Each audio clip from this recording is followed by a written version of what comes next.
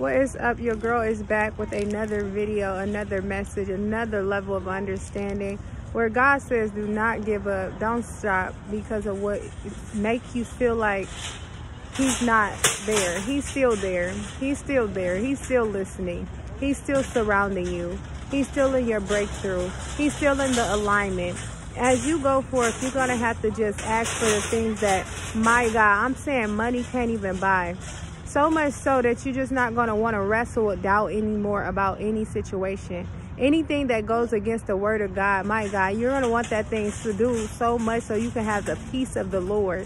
So much so that you can't allow the seasons of your life from your past to try to stop who you are today, even if you may have made some mistakes.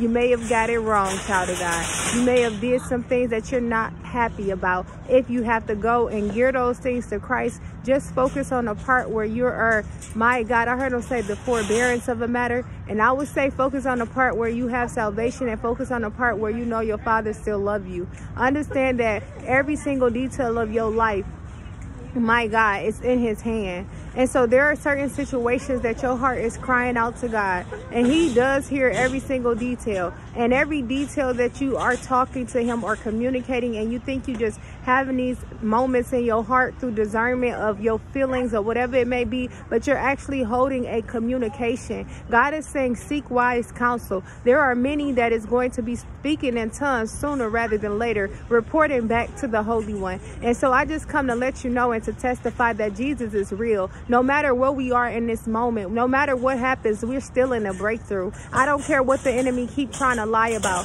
I don't care what he wants you to focus on. If he started trouble and doing every little detail of like, you know, just small-minded things, let that should let you know that you have a maturity. That should let you know that you you have such a royalty about you. That should let you know that you still have a a uh, um I hear them say deliverance ministry, ministry is happening. Deliverance ministry is happening. But that should let you know that you literally have a uh, perseverance mindset. That should let you know that you operate through the gift. that I'm trying to say it, Abba. Hear me now. Thank you, Lord.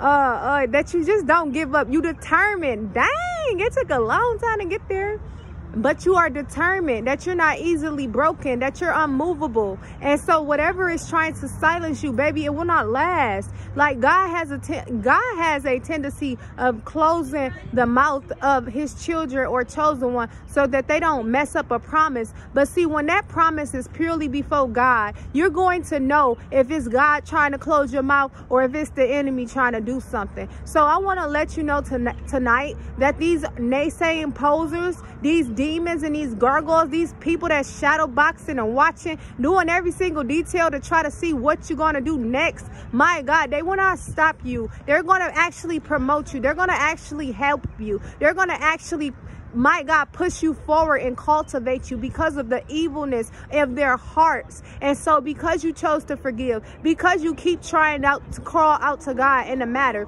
because you keep choosing the high incline route, because you keep increasing your focus and my God, nothing you don't want, no, you're not taking no other offer than Christ Jesus of Nazareth because you decided to do that. Baby, you on fertile soil. I came to let you know that a hundredfold blessing is going to be yours. In the hour and the season of where God is going to align the moment to happen. I heard him say kairos. It's just going to make so much sense that you're going to remember the moment that you got the word from God to encourage you to keep going every single time there's an obstacle, every single time there's a battle. It's going to make you keep on promoting Jesus Christ of Nazareth. So much so that hell going to have to keep trembling. Turn over. I'm talking about what? Three times? No, he said seven times fold in our word. So much so that you're not going to give up. You're just going to keep on moving forward. I mean, I'm going to say this and I'm going to say this one time only. Forgive your enemies. Love your enemies. Pray for your enemies. Move forward with your life because you deserve it. You deserve everything that God has to give you and to offer you. So much so that you don't need a settlement offer. I love you so much, child of God. I heard him say you're a chosen fruit and a chosen remnant, a chosen vessel. The things that you are enduring right now, only heaven knows. You still have backup.